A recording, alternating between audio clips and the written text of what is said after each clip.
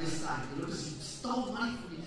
And the one thing that I knew I needed to do was, because I was getting married, and so I spoke to uh, my spiritual mentor, Brother Bo. I didn't know that he went through the same thing. And you know, Brother Bo told me, he said, pray about it. Pray about it. And then told me, imagine this. If you're able to do what your friend is suggesting, to do that little entrapment where you you uh, he meets up with that friend and then you come up from behind and then you, you, you do stuff, you know, you get behind bars. And then he asks me this question, will that give you peace? And I'm like, truth is, I just want to move on from this. Because I knew that he owed a lot of people. And I knew that he, I wasn't going to be able to get back the products. And here's my greatest fear.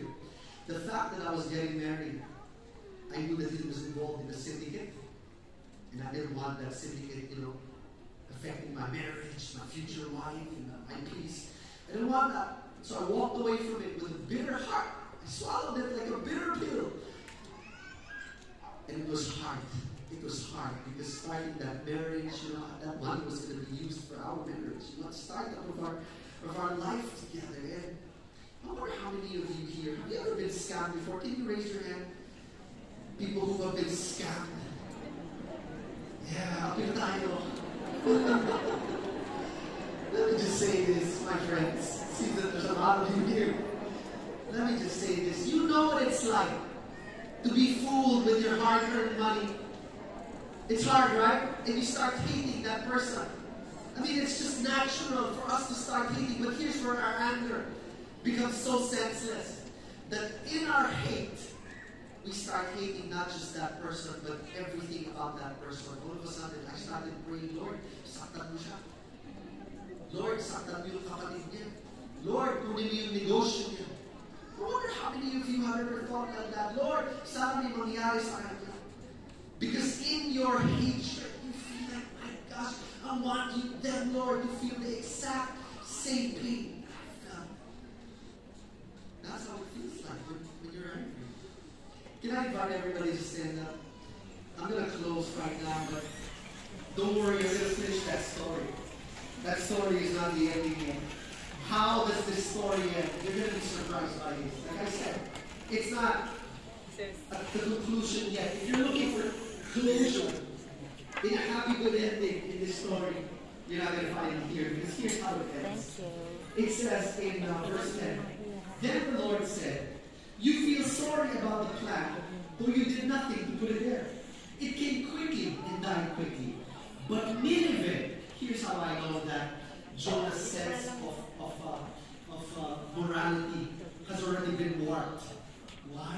Because he was more concerned about the plant than all the people in Nineveh. God said this.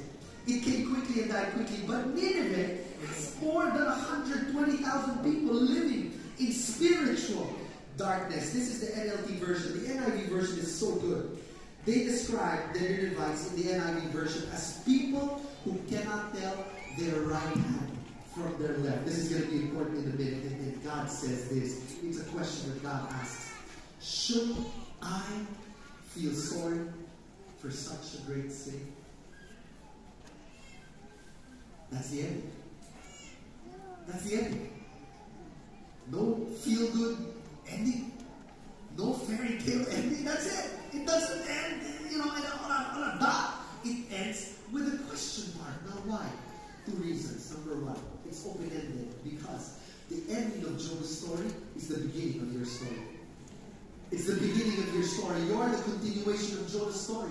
And the question that the author is asking you and I right now will you choose to be like Job? In your anger, will you choose to be like Jonah, who in his anger, in his selfishness, in his pride, he demanded justice in his own terms?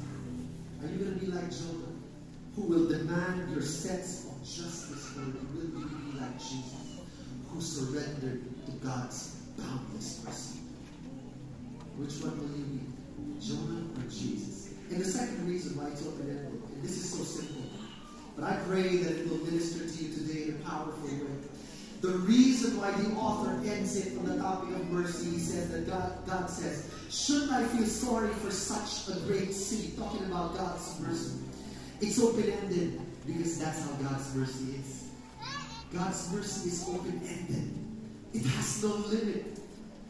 It has no limit. You can keep coming back to God again and again, and God will have more than enough supply of mercy for you. That's why he ends it on a question about God's mercy. But here's how my own story ends. A year later, after that whole situation of walking away with a bitter heart, I got a call from NBI. And then they said, Sir, yung po kinasuhan nyo, nagreklamo kayo eh. I, I, I, I guy and, and they said, Sir, the guy that you accused of stealing your, your, your products, we caught him. And he's here, he's being detained in our office, somewhere here in Manila. And they're asking, and they're asking me, Sir, would you like to come in and uh, kasuhan? That's the term. And you know, when I was going there, I was traveling, I was thinking of all the things that I would say and do to this guy. This guy stole my hard-earned money. He gave me so, so many sleepless nights. I was thinking, what am I going to do to this guy? Am I going to punch him? Would that be enough? Am I going to scissor kick him? Is that more than enough? Am I going to karate chop him? Is that more than enough? What am I going to do? Am I going to lambast him?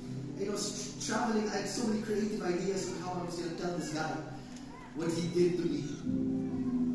And then when I got to the office, some time for me to see it because the officers were talking to me. And, and you know, they started telling me stuff about the guy that he wasn't caught because of the, the crime that he committed against me. You know what he was caught for? Forgery U.S. visas. Oh.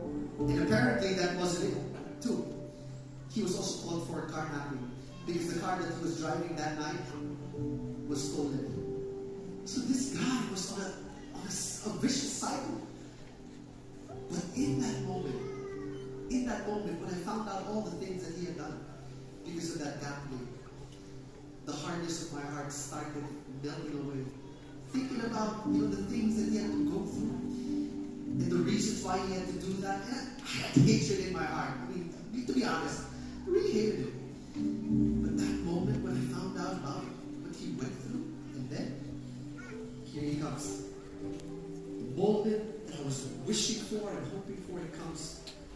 And he wasn't even looking at me. He was wearing the orange shirt that they would make those uh, Bilibid prisoners wear. He was wearing simple slippers and shorts. He couldn't even look at me. I could not wait for him to speak because they sat right in front of me.